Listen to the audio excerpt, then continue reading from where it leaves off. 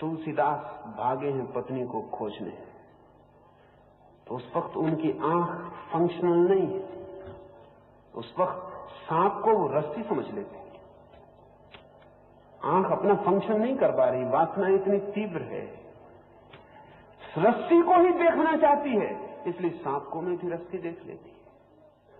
रस्सी ही चाहती है उस वक्त, एक क्षण चैन नहीं, सामने के दरवाजे से जाएँगे उचित नहीं। अभी पत्नी को आए, देर भी नहीं हुई। वो पीछे पीछे ही चले आए। नदी पार करते हैं तो एक मुर्दे की लाश को लकड़ी समझ के सहारा लेकर नदी पार कर जाते आँख अपना फंक्शनल काम नहीं कर पा रही। आँख जो करने के लिए बनी है, वो नहीं कर पा रही कि लाश है। न मन कह रहा है, कहाँ लाश? मन को लाश से कोई लेना देना नहीं। मन को पहुँचना है उस पार। उस पार भी नहीं पहुँचना वो जो पत्नी चली गई, उस तक पहुँचना है। अब मन बिल्कुल आँखों का उपयोग नहीं कर रहा। आँखें बिल्कुल अंधी हो गई। लाश का सहारा लेके लकड़ी समझ के पार हो जाते। सांप को पकड़ के छत पे चढ़ जाते।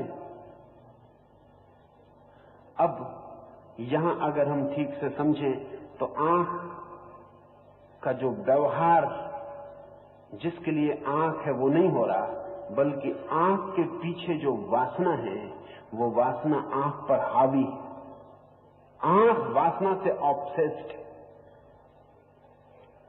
वासना ग्रस्त आँख अंधी हो जाती वो वही देखती जो देखना चाहती वो नहीं देखती जो है।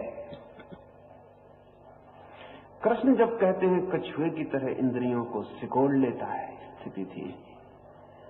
मतलब ये नहीं है कि आँखें फोड़ लेता है कि आँखें बंद कर लेता है। मतलब इतना ही है कि आँखों से सिर्फ़ आँखों का ही काम लेता है।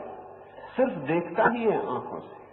वही देखता है जो है, कानों से वही सुनता है जो है, हाथों से वही छूता है जो है, विषयों पर वासना को आरोपित नहीं करता, विषयों पर वासना के सपनों के भवन नहीं बनाता।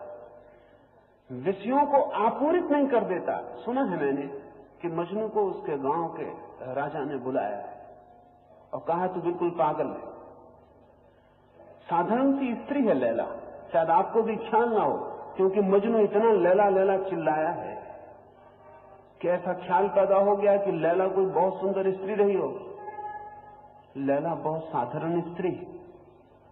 सम्राट ने बुला के कहा कि तू पागल है। बहुत साधारण सी स्त्री उसके पीछे दीवाना है। उससे अच्छी स्त्रियाँ मैं तुझे बुला देता हूँ, कोई भी चुन ले। सम्राट ने बारह सुंदरतम नगर की लड़कियों को लाके खड़ा कर दिया। मजनू पर उसे दया आ गई। मजनू हंसने लगा, उसने कहा कि कहा लैला? और कहा ये स्त्री? आपका दिमाग तो ठीक लैला के चरणों में भी तो ये कोई नहीं बैठ सकती। सम्राट ने कहा, दिमाग मेरा ठीक है। कि तेरा ठीक है। मजनू कहा कुछ भी हो, दिमाग से लेना देना क्या है? लेकिन एक बात आपसे कह देता हूँ, अब दोबारा ये बात मत उठाना। क्योंकि लैला के सौंदर्य को देखने के लिए मजनू की आँख चाहिए।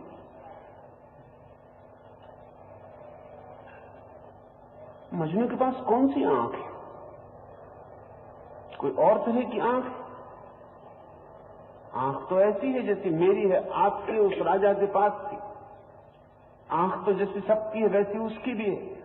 लेकिन आँख वासना ग्रस्त है। आँख आँख का काम नहीं कर रही। पीछे जो आँख की वासना की इंद्री है, वो हावी है। आँख वही देख रही है, जो वासना दिखाना चाह रही है।